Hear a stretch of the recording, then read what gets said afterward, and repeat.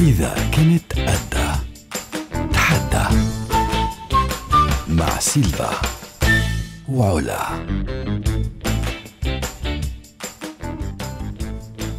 يسعد لي أوقاتكم مستمعينا الكرام ورساله يوميه واليوم هو يومنا الخامس. من رسائلنا اليوم لتعرف تحب حالك. 30 يوم تحدي في حب الذات. إذا قدرت تعرف تحب حالك رح تعرف تحب كل الناس ويكون عندك العطاء أكبر من العادة. فعزيزي اللي عم تسمعنا اليوم إذا كنت قدها يلا تحدى. اليوم مع علا شوقي واليوم مع اللايف كوتش وبيومنا الخامس من التحدي لحب الذات. هل قادر إنه فعلا تدخل معنا التحدي؟ وفعلا تكون بانتماء أكثر مع نفسك بحب أكبر لنفسك بداية نفس يعني مش يعني أنانية يا جماعة.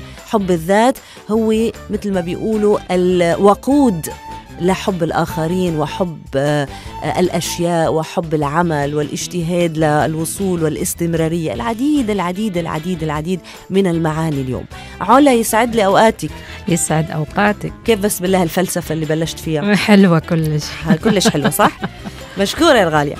آه اليوم هو اليوم الخامس في حب الذات. اليوم هو اليوم الخامس في تحدينا اليوم لكسر كثير من الظروف والواقع, والواقع اللي ما ما زمنا فيه.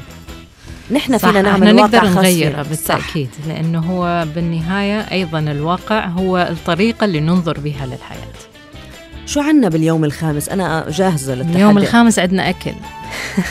الله.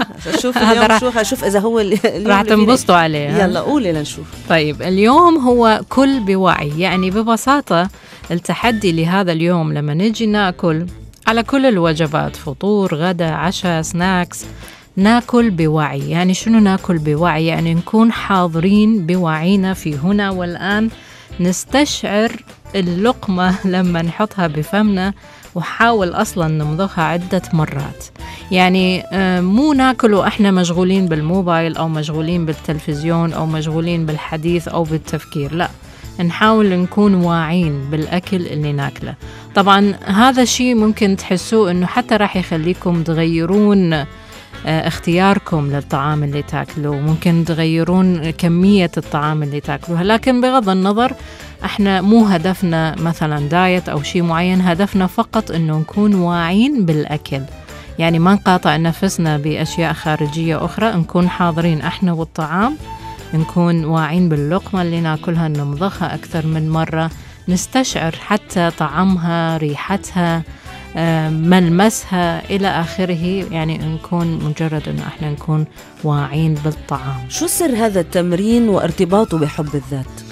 عادة آه، من ضمن الأسباب اللي تؤدي إلى آم، تدهور في الصحة أمراض معينة أو حتى السمنة المفرطة هي بأنه إحنا ناكل فقط أنه إحنا نريد نسد فراغ معين في الداخل يعني ما نكون واعين بالأكل اللي ناكله دائما مم. نكون يا أما نفكر يا أما شاغلين نفسنا بموبايل صح أو عم ناكل تلفزيون لأنه ستريس أو عم بالضبط. ناكل لأنه آه، في عنا فراغ حلقة وقت فراغ فهيك بالضبط.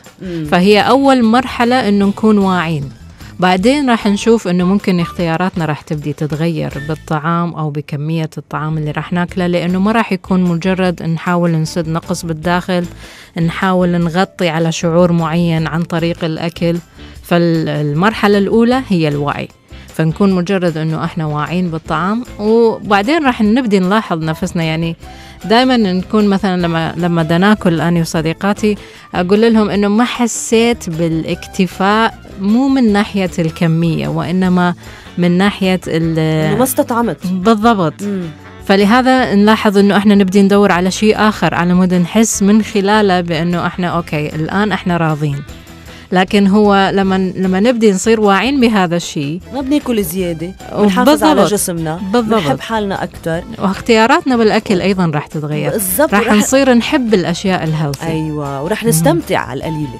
ما؟ يعني أنت بتكون أكلت شغلة واستمتعت فيها مش أكلت بلعت ولا كأنك أكلتها. بالضبط. إيه لا اسمه تبليع. أحيانا هواية إنه مثلا إحنا عصبنا من شخص نروح نطلع قهرنا بالأكل مثلا.